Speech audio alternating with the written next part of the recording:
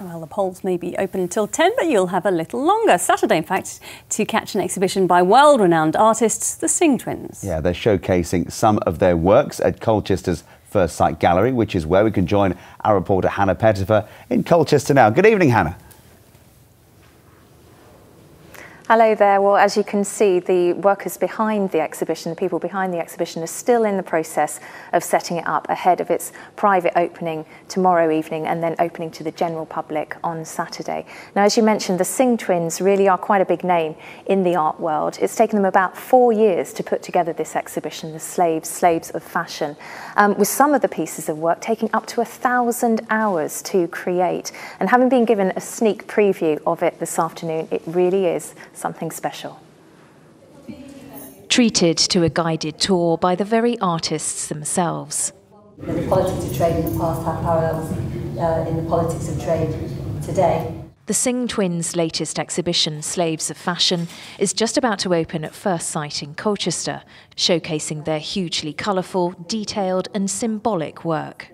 I think we're hoping that people will take from this exhibition um, different, perspectives. different perspectives about what Empire was about. I think there's a misperception among some circles that it was this glorious sort of um, benevolent force for good, and this mm. exhibition really challenges that. But also, uh, we'd like people to think about their role as consumers because the show is about the history of Empire which looks at trade and consumerism and, and that relationship and how that links to uh, slavery and exploitation of, of land and people.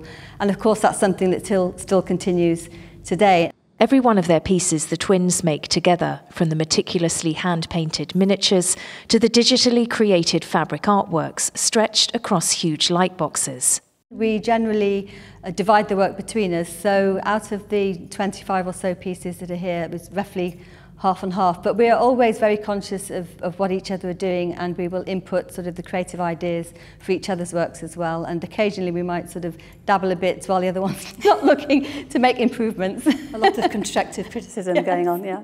I think luckily our, our social political outlook is identical, yeah. so we're very focused as a team, if Definitely. you like, on what we want to do, the kinds of things that interest us, that fire us up, that, uh, you know, that we want to respond to The show took four years in the making, with each artwork needing anything between 50 to 1,000 hours to create. This is the first time the artworks have been on display since before COVID. It's a huge coup for Firstsite, which only last year was named the Art Fund Museum of the Year. Firstsite secured the exhibition with the help of the Essex Cultural Diversity Project. I think it's very key that we have diversity within the arts and culture, and that's something we really embrace at Essex Cultural Diversity Project, is to bring diversity within the arts and heritage sector. And uh, I think the Singh Twins exhibition, the uh, Slaves of Fashion, is something that will be key in bringing new audiences and diverse audiences to Firstsite, and also new diverse programming as well. The exhibition opens tomorrow evening, running until September, after which it will be taken to Norwich Castle.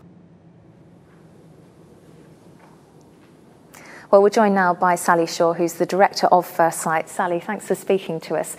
Um, I mean, it's, it's such a great exhibition, isn't it? And you, you've managed to attract really big names here over the years Antony Gormley, Grayson Perry. Would you put the Singh, the Singh twins up there as well? Oh, way above. Yeah, they're amazing. Um, we're really lucky to have them here, actually. It's an extraordinary show.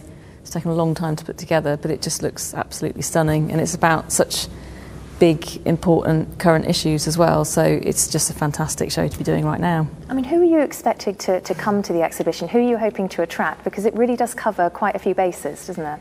It's genuinely for everybody. Every show that we do here, we try and uh, make it appealing to all sorts of different people. But this one in particular, you know, it covers geography, history, fashion, textiles, all sorts of things. But it's also a really beautiful looking show. It's full of colour, it's full of detail. We've got apps that exaggerate the works for you, all sorts of things going on.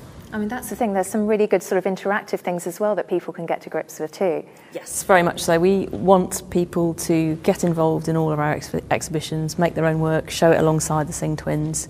That's very much what we're about. Okay, brilliant. Well, thank you very much, Sally. Thank you. And as we said, it's um, open to the general public on, on Saturday. Um, it's a free exhibition as well. And once it's finished its run here, it will be heading to Norwich in October.